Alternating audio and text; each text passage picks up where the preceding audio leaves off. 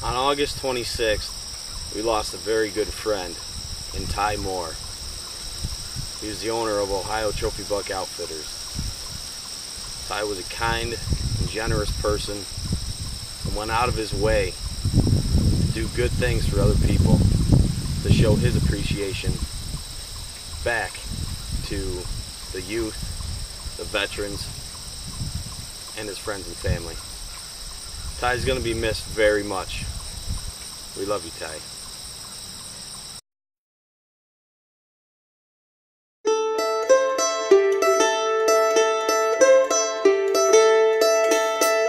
So the deer ought to have about anything they're going to want back here. They just got to find it and show up.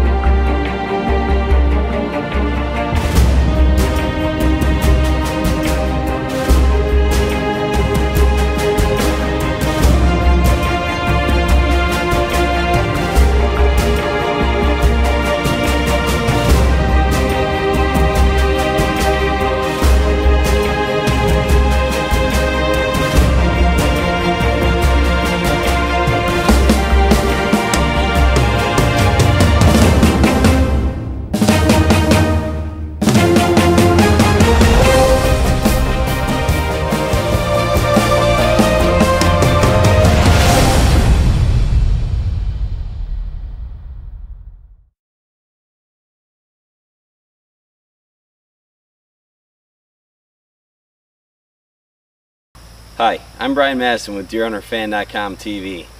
And as I say every year, and I can't wait to say it every year, it's finally that time of year again. Time to start the semi-live weekly online episodes. This week's show is just going to be a little montage of everybody's activity this past winter, spring, and uh, summer on what they did with trail cams, food plots, and just you know some some video of bucks and velvet and stuff just to kind of catch you up on what guys are seeing, what we're looking at coming into this year.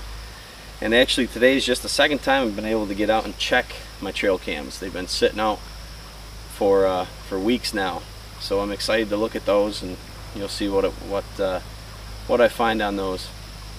Also to give you a rundown what to look forward this season with the online show is we're looking at hunting of course in our home states of New York, Kansas, Arkansas, South Dakota and then also um, I'm making a trip to Kansas, Ohio and we are going to Illinois back to Skill Fork Outfitters as well and of course Ohio is with Ohio Trophy Buck Outfitters. So a lot to look forward there a lot to look forward to there and um, can't wait to for deer season to get here. It's literally just a couple weeks away now and um, the anticipation is mounting pretty much every single day. Everyone's been out shooting their bows doing trail cam stuff and uh, one of these episodes here either this week or, or next week I'm gonna wind up throwing in just a little quick real fast recap of last year's activity of you know what we got and uh, if you missed last year's recap episode the very last one of the season there was a nice little music video at the end of it to kind of thank everybody and that's involved. It takes quite a lot of guys to put something together like this and I know it takes a lot of time from them. It also takes a ton of time to edit it and get it going and keep the website up and, and uh, every Monday bring you these these episodes. But can't wait to get it started. Let's uh, get to showing you some stuff. I just spent about two hours walking some woods. Um, nice bedding area. And every year I like to just take the ATV and drive around field edges. You know, deer in the wintertime spend a lot of time in these fields eating. I found this, but I just came across this one here. This is a buck. Pretty sure I got trail cam pictures of them uh, from this past year, so he's one we'll be watching for next year. He'll be a pretty good buck. All right, it's June 29th. Uh, me and Griffin are coming out today. We're going to go disc up or chisel plow and then till up a little bit of our clover where it's the clover's not very good there. We're going to put some beans in. So we'll have corn, beans, clover, and then a mixture of like turnips and wheat. So the deer ought to have about anything they're going to want back here. They just got to find it and show up.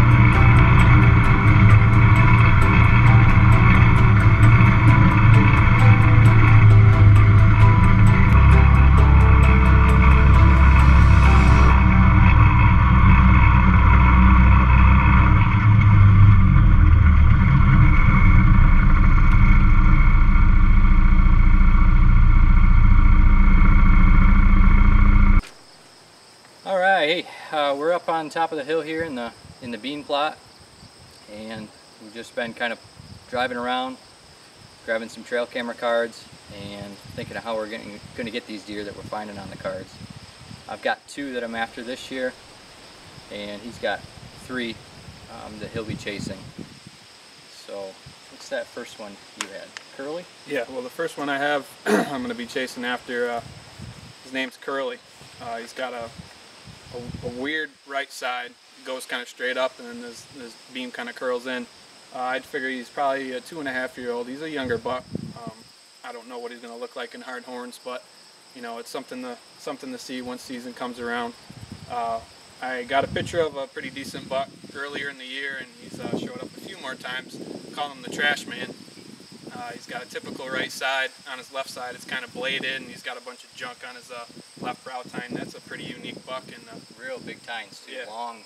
The right side's typical, and it's it's long. Yeah, long. yeah. And then the So- left side, it just looks cool. yeah, yeah. So I'm excited excited to get after that buck. I've seen him uh, a couple of times um, in the backfield, and I've gotten him on trail cameras, so he's been pretty regular. And then, of course, the one that I'm most excited about is the Iron Man. Uh, I got pictures of him in Hardhorn last year, uh, later in the year, and then probably about two weeks ago when I checked cameras um, up on the farm, I got another picture of him in velvet, and he has just grown into an absolute stud. Yeah, Uh, he poses. He poses for the camera. He puffs out his chest and everything. He absolutely does, and he's probably the number one hit list buck that I'm going to be after. If I can get an eye on him, I'd, it'd, it'd be awesome. Um, but other than that, uh, just looking forward to the year. Like I said, we have a few bucks that we're going to be going after. I got three this year that's on my hit list that I'd like to get a peek at, and uh, hopefully I can get one down this year. It's been a few years stagnant with the bow, so. And then of course uh, Randy's got a few bucks that he's going to be after here. Yep. Got one pictures right off the bat in this spring in Velvet. Um, he was visiting a scrape site uh, kind of repeatedly. And I seen a picture and he was walking away and I didn't think of anything of it. And the next time I looked through it, I realized that there was a rack sticking out. It wasn't a tree behind him. It was his rack. Real, real wide, uh, real tall. And uh, then one of the evenings, I got a new camera this year. I was trying it out, trying to zoom out. And way in the back of the field, up on its way to the uh, food plot, there's another one. Uh, real nice eight. Not quite as long a tine, but but just miles wide. And uh, so I'm calling the first one this deer and the second one that deer. That way, Unique. I can either be after this deer or that deer, one, one of the two. Um, and then there's another one I'm just going to keep my eye on this year. It looks cool. It's the first one I've seen up here that had anything, you know, irregular coming off of it. And I think it's it's only a seven point, but it's got a it's got a little sticker coming right off of its base. It sticks out almost like a little unicorn or rhinoceros. Yeah, I think you actually got pictures of them last year. We had a buck last year that we were getting pretty good pictures of, and it went straight up. Uh, the and we call him the antelope buck. And I'm I'm thinking possibly it could be that buck, but like you said, it's it's a really unique buck, and uh, it'd be cool to see him also. Whether we shoot him or not, you know, you never know. But uh, and definitely and, and just uh, a few days ago we were up here and was kind of checking progress and I had showed showed James that morning it's the first picture I've ever got of a bear up here I've heard there's lots up here but first one I got on camera and so we're up here and about 20 probably 25 feet into the brush uh, we must have disturbed the cub and it started bawling for mama bear and we got out of dodge yeah, but so that was a little freaky, but I mean, right behind, right behind where we are now. Yeah. Yep. Might still be there. never know. So uh, it's late August now, August 25th, I believe. And uh, we're gonna start getting at it. We got some tree stands that we got to get hung. Uh, of course, we're gonna you know keep checking the trail cams, and if anything else pops up, we'll be sure to let you guys know. Um, 2014 is looking like it should be a pretty good year for us, and uh, hopefully we can wax them, and you guys will see it on DeerHunterFan.com. Bring on the taxidermy bill. Yes, sir.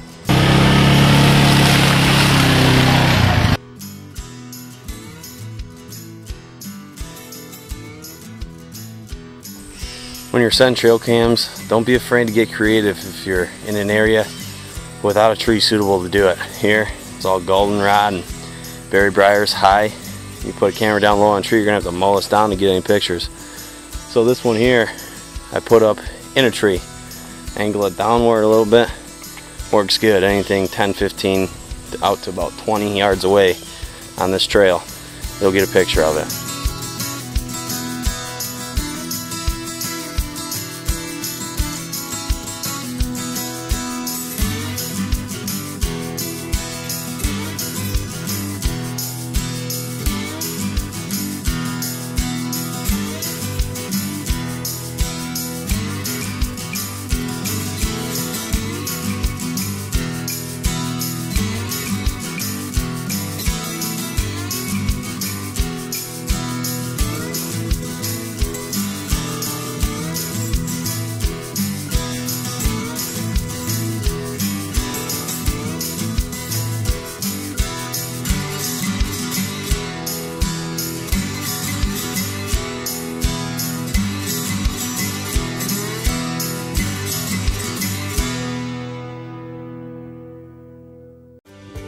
DeerHunterFan.com TV is sponsored by Bee Stinger, Gold Tip, Insane Archery, Ridge Runners Guide Service, Spy Points Excel Camera, Longhorn Fab Shop, Muddy Outdoors, Ohio Trophy Buck Outfitters, Strutters,